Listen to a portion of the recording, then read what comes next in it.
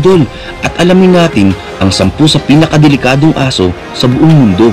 Pero kung bago ka lang sa aking channel ay huwag kalimutang mag-subscribe at pindutin na rin ang notification bell para updated ka sa mga bago kong kwento at trivia na gaya nito. Tayo na! Number 10. Great Danes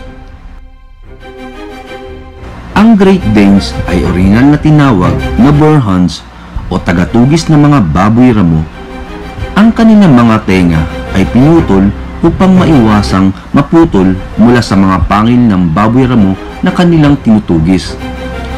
Ang pangalang Great Dane ay lumitaw noong 1700s nang ang isang naturalistang Pranses ay naglakbay sa Denmark at nakita ang isang version ng Burhan na mas payat at mas katulad ng isang greyhound sa itsura. Ang Great Danes ay maari maging banayad na higante kung naalagaan at nasanay ng wasto dahil sa kabilang na sila ay napaka-emosyonal at sensitibong grupo ng mga aso. Ngunit kung hindi sanay at makihilubilo mula sa murang edad, maaari silang maging lubos na mapanganib at agresibo kung ikukonsidera ang kanilang napakalaking taas at timbang ng katawan. Maaari silang magdala ng mga disgrasya sa nag-aalaga nito. Number 9. Boxers Ang boxers ay mga aso sa pangangaso at pinalaki ang mga ito upang maging taga-atake at mga bantay. Meron silang isang malakas na panga at kagat na perpekto para sa proteksyon.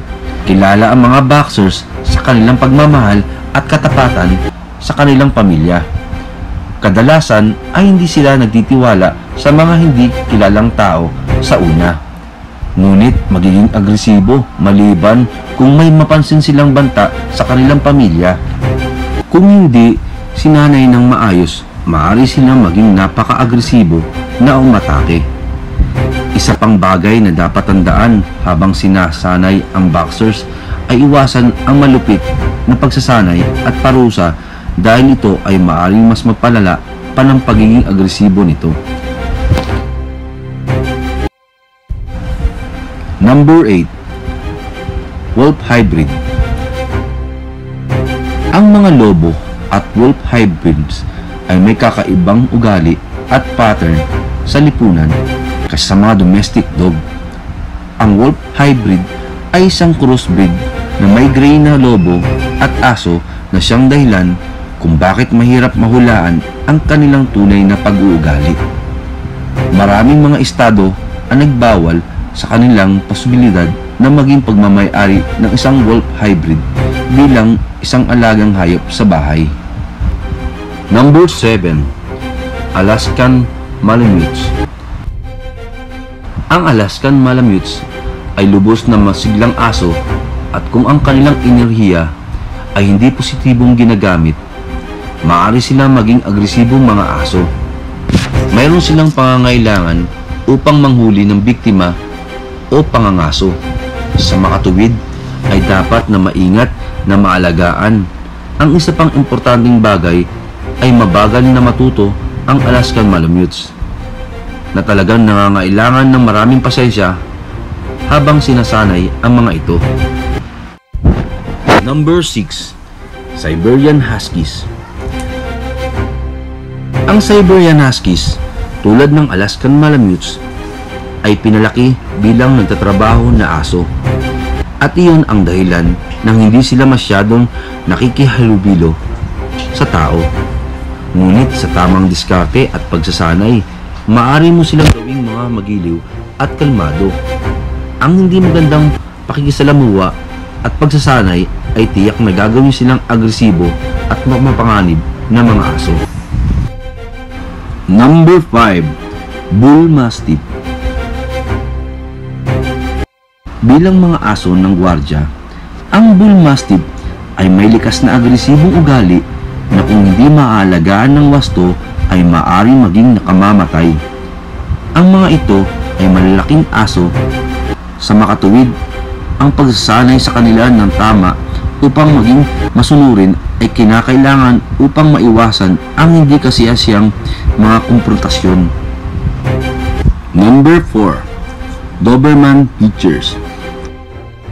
Ang Doberman Pictures ay napakatalino, malakas, at napakasensitibo sa tunog. Makakaramdam sila ng mapanganib at mag-react sa sitwasyon sa kanilang sarili.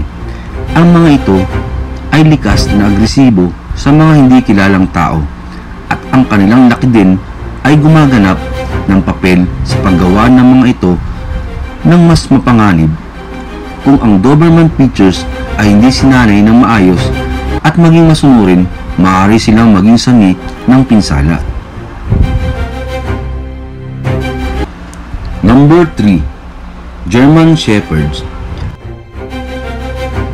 Ang mga German Shepherds ay maaring tumugon sa paraan ng sobrang bilis at labis na nakatuon sa pag-alis ng panganib. Maaari silang maging sanhi ng nakamamatay na pinsala. Ang agresibong kalikasan ng German Shepherds ay maaring mapaamo sa pamamagitan ng naangkop na pagsasanay, pakikisalamuha at pagmamahal. Sa ganitong paraan, makakakuha ka ng isang matapat at napakamabagmahal na alagang hayop. Number 2. Rottweiler mga Rottweiler ay nagtataglay na may pinakamatindi at nakakatakot na init ng ulo. At itinuturing din na hindi angkop na maging pampamilyang aso, lalo na para sa pamilya kung saan ang may-ari ay isang baguhan, nang walang kalmado at kayang kumontrol ng kalikasan. Kailangan nilang patuloy na pagsasanay at pag-aasikaso upang maiwasan ang mga mapanganib na reaksyon mula sa Rottweiler. Number 1 Pitbull Ang pitbulls ay mga fighter dogs at masigasig silang susundan ang kanilang gawain hanggang sa ito ay makumpleto. Mayroon silang napakalakas na panga at kagat at kilalang hindi madaling pinapakawalan ang kanilang kinagat. Sa makatuwid, dapat silang sanayin na makisalamuha mula sa isang maagang edad upang maiwasan ang hindi kinakailangang mga pampanganib na sitwasyon.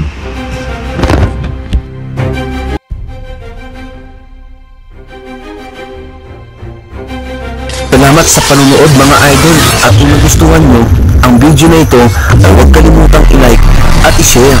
Hanggang sa muli mga idol,